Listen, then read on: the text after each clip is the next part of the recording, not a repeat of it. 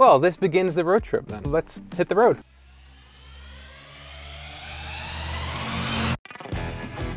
Welcome back to the grand finale of my Ultimate New Zealand road trip. In this vlog, I'll be doing some of Rotorua's most iconic and exhilarating activities. Then I'll be camping on a farm which is only a 3 minute drive away from Hobbiton, where I'll be in nerd heaven. Then I'm reluctantly heading up to Auckland where my luck runs out, and I've got to say goodbye to Dan the van and prepare to leave for my next adventures. Well, good morning everyone. It's now officially day six of the trip. I did quite a few things in the last episode. If you haven't seen it already, I'll link it on screen. I'll link it on screen here in the description below. Don't forget to check out episode one and two before you watch this one because otherwise it'll be all topsy-turvy. Anyway, first thing this morning, I've decided to come and do an ultimate New Zealand experience. The Zorb. The Zorb is as iconically Kiwi as bungee jumping or jet boating. Yet another one of the amazing adventure inventions spawned by New Zealand. Zorbing's been on my bucket list for a while. It's a giant inflatable ball that you climb inside and roll down the hill. Let's roll down the hill. Right, okay. Crazy, the mind of the youth. There's four tracks, the dual straight, great for racing your friends, the sidewinder, lasts a little bit longer and zigzags down the hill, the mega, which is the fastest and steepest, and the pipeline, which is sort of the scenic ride. I got a deal online that lets me try the straight track and sidewinder track, giving me yet more to my ever-growing trip savings. And yeah, I'm still keeping track of the scores.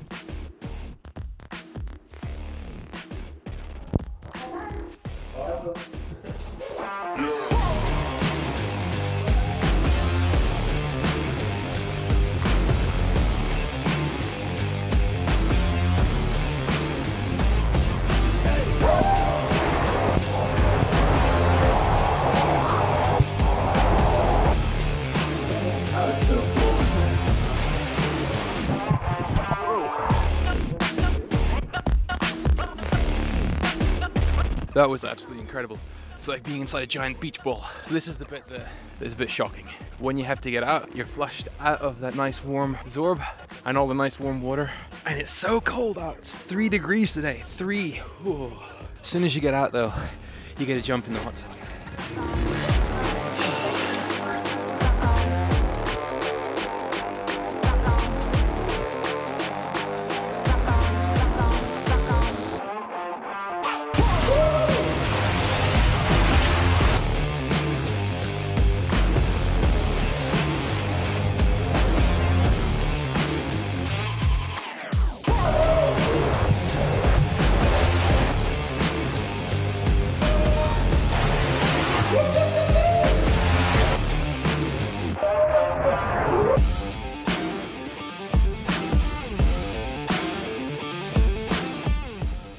That really was an ultimate Kiwi experience.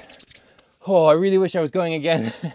I need to get dried, I need to get dressed, and I need to head over to the next destination I have here in Rotorua, which is also an absolute classic. And here we are at Skyline Rotorua. I've been to Skyline Luge and Gondola countless times. Albeit I usually go to the Queenstown location, I can never resist the luge. You get a gondola to the top of the hill and then take multiple tracks down on a luge, which is a sort of sled with wheels. I better get inside though because the queue is looking a little bit long.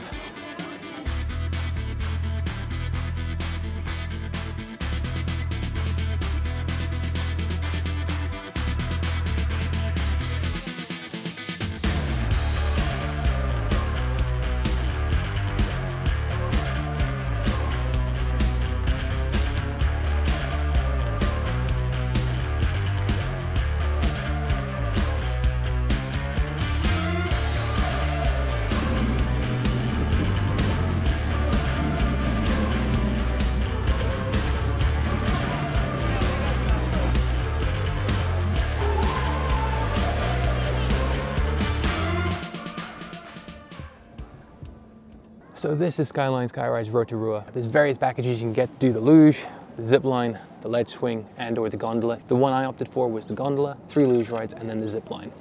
And that cost a total of $116. Now that is not discounted and not couponed. I couldn't find any discount codes or coupons for here, so full price unfortunately.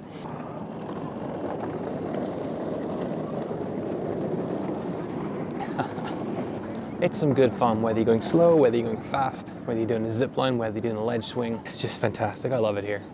I do think the one and the only downsides to this is if you've only picked three luge rides, there's so many tracks to choose from, you're never going to get to experience them all.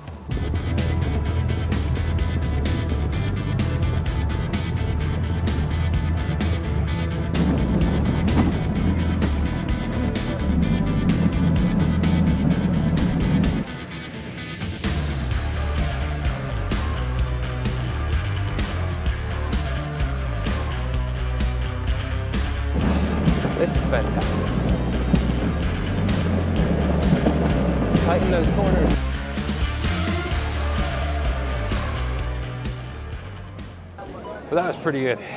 But um, I think my camera got a little bit scuffled. That's what action camera's for, right? Next up, I'm gonna try the zip line.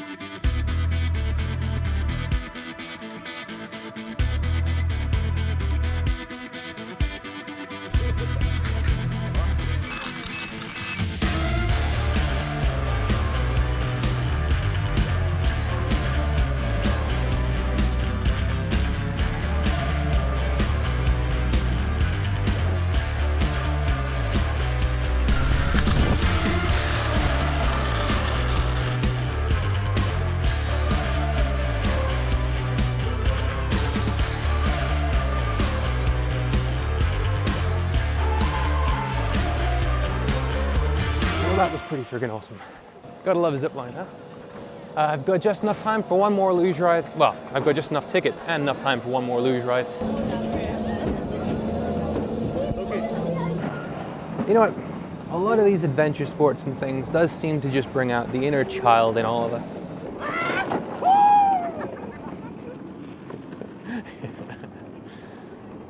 Since this was my last luge ride, I thought I'd take it up a gear.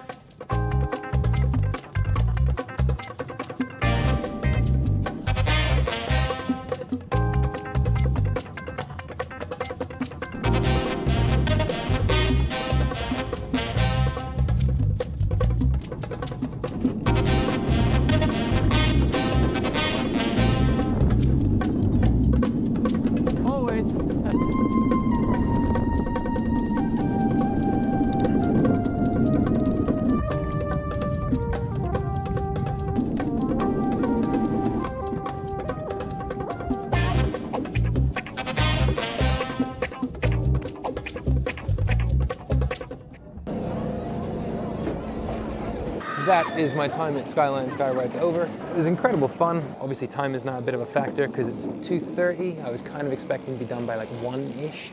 So um, I'm going to have to play it by ear what I've got planned for the rest of the day now. That's a cool little feature. Before you return your helmet, they have these little scanners on the side of them. And it's linked to all of the different video clips that you've taken, like photographs and videos. So if you want any like souvenirs or something like that, scan it in. I'm gonna be heading back into town now. Oh, it's now three o'clock, which means that all the time that I had planned for a couple of activities and stuff might go a little bit awry now. Unfortunately, it's just so busy. I mean, this I should have been done by like one o'clock. It's taken an extra two hours longer than I expected it to, just from like queuing up. But ooh, I'm gonna try and see if I can fit a few more things in. But I need to be in Matamata today by six o'clock. Incidentally, one of the great things about having a van was there was nowhere to park, but I managed to get parking in the camper van only spots. So, camper vans for the win there. Because look, the cars are just circling the car park trying to look for something. Awesome. Here we go. If you guys are ever out trying to collect these, Paper Plus has them, and that was a lifesaver because I got my gondola and I got my Rotorua. I've managed to collect all of them so far, and I don't want to miss out on them now. Paper Plus. Very few tourists know to look there, and they usually have them.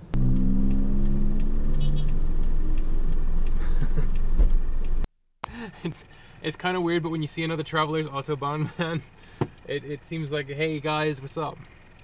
I've had it a few times now where like I'll pull up next to one of them, or I'll see another Traveler's Autobahn van somewhere, and it's just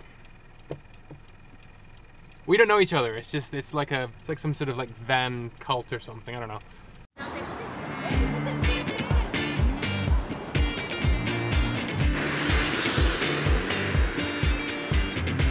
So this was my backup plan. I'm now at the Kuirau Park. The Kuirau Park is one of the only free geothermal locations that you can visit in Rotorua. And you can go on a nice free self-guided one. This is a good one if you've only got a limited amount of time or because it's free, a limited amount of budget as well.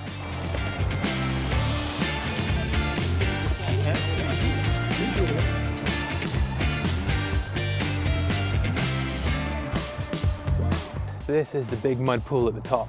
So it's named Kuirau because according to Maori legend, this never used to be heated lake. It was like just Lake Rotorua just across there. Normal, cool, regular pool. There was a maiden who was having a swim in the lake. And then a taniwha, which is a sort of a giant serpent, snatched Kuirau out of the water and dragged her down to her death. This angered the gods so much that they boiled the water in, in order to kill and cook the taniwha.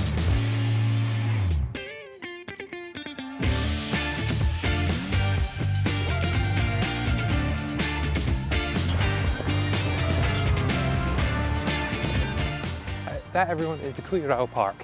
That, unfortunately, is my time up. I need to be heading over to Matamata because uh, I need to check into a campsite there and um, I have a very narrow window opportunity to try and get checked in. Gotta be going.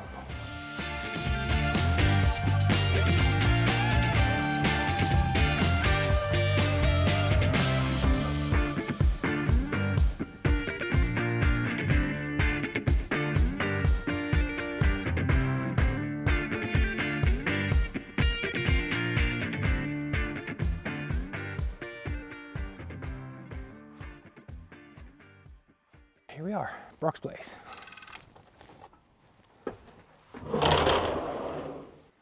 Ah, coin operated shower system. $2 for five minutes.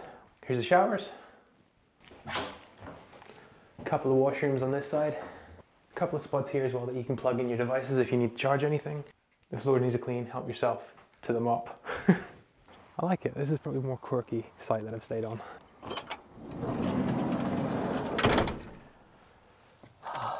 I'm kind of in for the night now. It's um, it's six o'clock, so that means I've got plenty of time for for nothing really, because I don't have any power.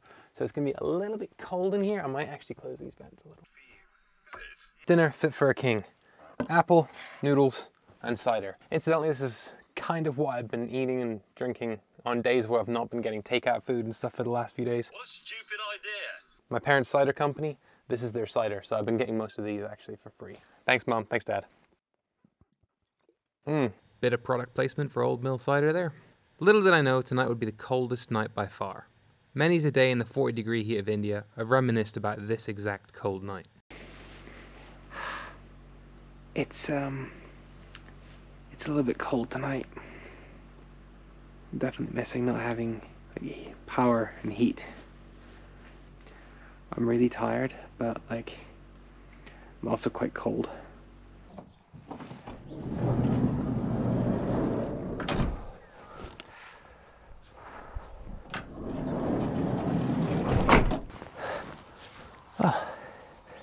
Good morning, everyone. It's now day seven of the trip, but this is what it looks like in the daylight. As you can see, it's a bit. And curiosity got the best of me with the coin operated shower, which, well, Right. On your marks, get set. Go. Yep.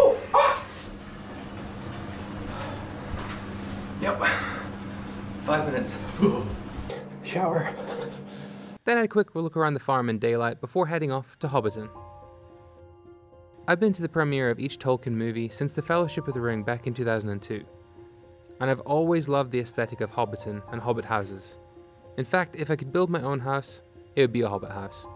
So visiting Hobbiton's been a dream of mine for years, and I'm actually quite sorry for all the other tourists and even the tour guide for today because I was in nerd heaven. Just went to the ticketing offices down there. Got my ticket and a little mini map of Hobbiton. At the top is the cafe, and at the bottom is the little gift shop. And departures are right next to.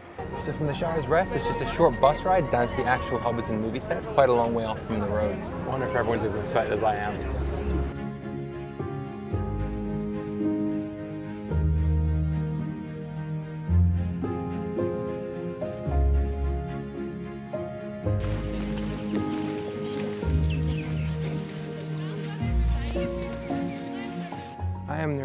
Huge right now. If anyone's watched my channel for long, you'll know that on my very first episode, in the very first few seconds, at this exact spot, I cut in a scene of Bilbo Baggins running down the hill shouting, I'm going on an adventure. That was my very first YouTube video, and now here I actually am at the set. You just see that into the top. I'm so excited. I know, I know. Calm down, calm the nerd down. It's just so cool though.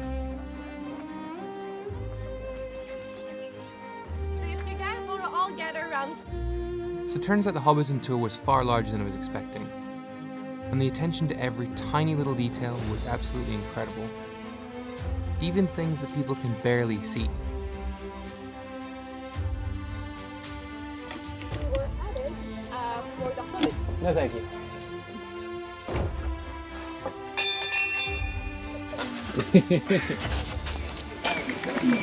I'll Photoshop one in later. Of all the Hobbit houses, the crowning glory at the top of the hill was Bag End, my absolute favourite house. There's a drone ban here, so I had to improvise to get more views of the House of Bagginses. And weirdly enough, Bag End isn't even the best part of Hobbiton, and nor was Sam Gamgee's house. With the new Beyond the Door experience, you can actually go into a real Hobbit house, sit at a Hobbit desk, lay on a Hobbit bed, or even Hmm.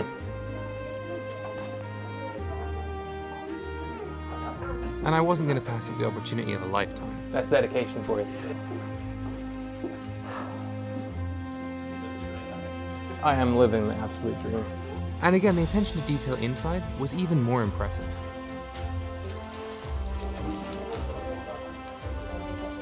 And they'd even thrown in a few Easter eggs for crazy fans like me. It's very special, that. It's the best salt in all the Shire.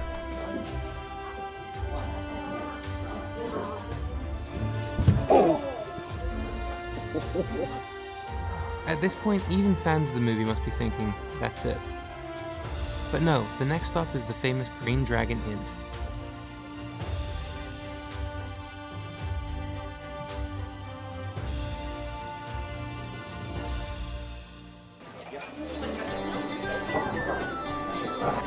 Part of the tour, you get a complimentary drink, either an ale, stout, cider, or ginger beer. Quite a number of years now I've wanted to sit at the Green Dragon, have an ale, uh, and something to eat. I'm so looking forward to this. Very goodness. Any more? I had to eat quick because I really wanted to look around the Green Dragon. Working as an active cafe, it's still packed with attention to detail and recreating the magic of the movies. The only brew for the brave and true comes from the Green Dragon. The tour then ends with a walk along the waterfront and one last look at Hobbiton from afar. Plastic fishes is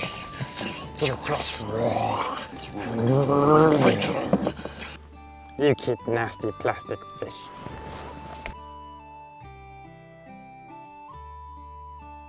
And then back onto the bus and back down hard to reality. Even despite the terrible weather, I could totally live there. Only if I got back. A lot of the things that they had in the gift shop were really, really expensive, though. It's all like Weta Workshop models and stuff like that that are made really, really high quality. Unfortunately, as just like a general keepsake or something like that, they're a little bit too expensive.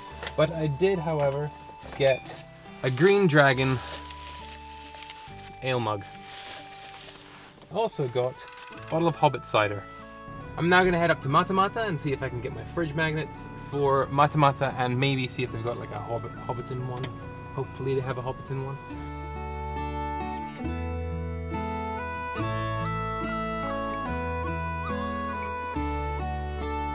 All the gift shops that I've seen so far are shut because it's Sunday. Paper Plus is also shut for the whole weekend. So everything is closed. I'm so I'm worried now I might not be able to get one. They do actually have a pretty cool looking information site. I might just check in there. That is without a doubt the coolest information site I've ever seen.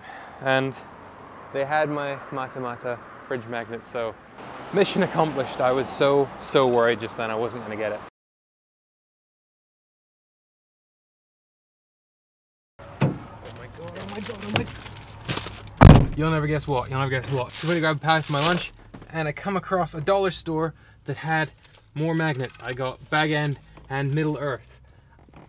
I'm totally adding these to the collection right now. Middle Earth. Bag End. What a collection. And then once I finish my pie, we're off to Auckland to Journey's End. Oh. Mmm. I'm gonna miss pies, man. Seriously. Pastry everywhere. Anyway, if you guys are ever in Matamata and you're after a good pie, Ronnie's Bakery. Remember. That's it right there. Ronnie's Bakery. That's where I got the pies from. Great pies.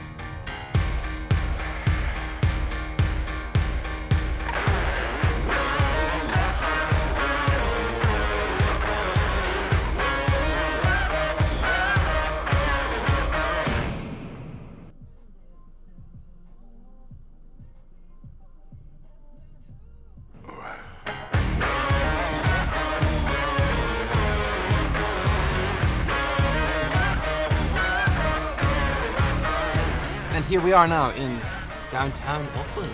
Kinda limited for parking spaces when you consider the size of the van.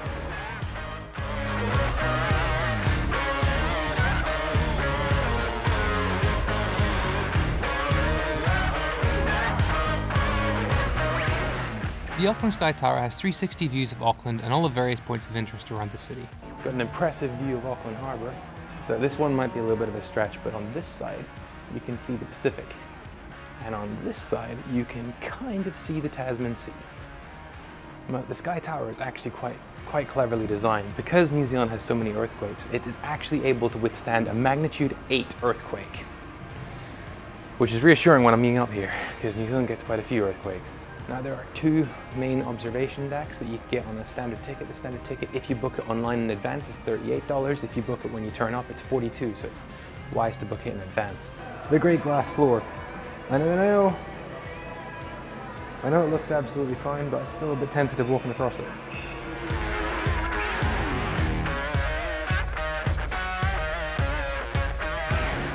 That has kind of put me in mind a little bit of the CN Tower, not only in how it looks, but in just the experience of being up here. Although, all the buildings surrounding this one are quite a considerable amount shorter than they were in Toronto. And also, Nukushal. it's funny to think not too long ago, I was in Christchurch starting this whole trip.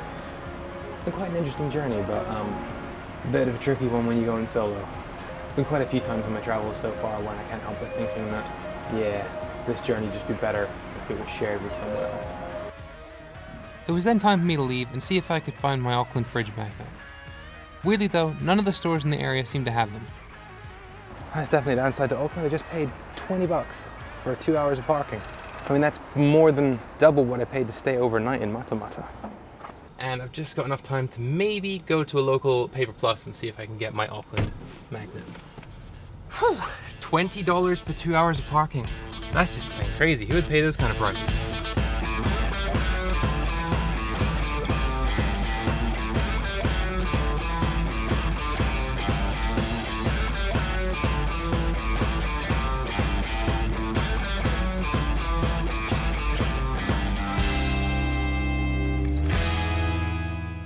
I have to say, I am pretty baffled. I've been to four Paper Plus stores in Auckland and a bunch of souvenir stores and couldn't find the magnets anywhere. I guess I'm without my Auckland magnet. I've managed to get them in every single city I've been in. I managed to get a few novelty ones. I've looked absolutely everywhere and was unable to find a single one in Auckland, which is crazy because it is the biggest city. I can't understand it. But come on, Auckland, what are you playing at? Everywhere else in the country you can get them, just not here. I don't understand that at all.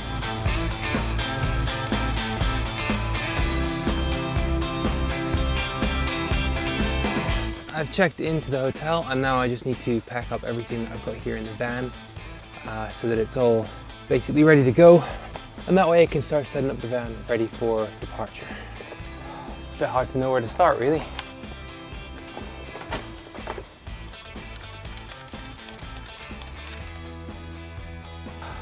Shame. I've enjoyed driving around down the van the whole time.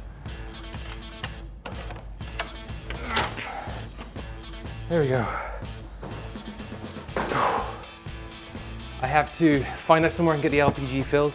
I need to find out somewhere I can fuel it up. I need to find out somewhere I can do a dump. I need to find out somewhere I can use the dump station, get rid of the grey water, fill up with clean water, and then I need to wash the car. So I, four things I have to do all to the van are all different locations. There doesn't seem to be like one spot you can go for everything, which is weird because this is like the perfect spot to have a one-stop shop to get everything done. But I don't know.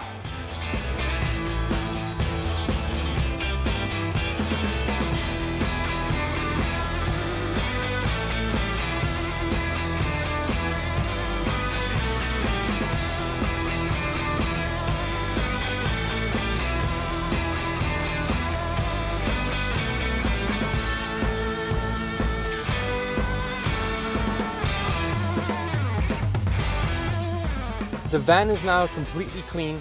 The one last thing that I have to do is to fill it up with petrol right before I take it in tomorrow. But it's now seven o'clock and I think that deserves to be done for the day, I'd say. I'm now gonna go pick up something for dinner and then I'm gonna head back to the hotel.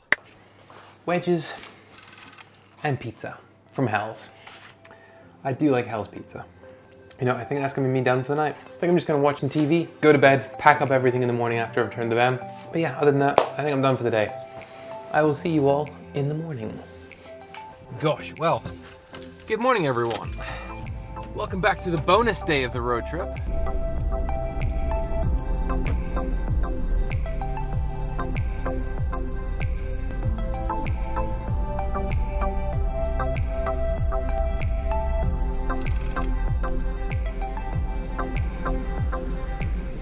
That is where Dan Van and I have to part company. Farewell, buddy. Incredible fun. it's been like a second home to me the entire time. Kind of a little bit upset to be leaving, really. It's actually quite sad. anyway, that's Dan now off on his next adventure, and that's me now off to continue my adventure. It's been an amazing road trip, really. I don't think I would have done a road trip like that by myself if it wasn't for the fact that I did that big road trip with my granddad. Back at the hotel. So, because my flight is gonna be at six o'clock in the morning, I had to check in at three o'clock in the morning. So it makes sense that just for the rest of the day and the rest of the afternoon, I just take it easy and try and relax as much as I can. Maybe even try and get a little bit of sleep as well, because I've got 26 hours of flying or something coming up ahead of me. So it's probably just best if I spend the rest of the afternoon chilling out. To the airport.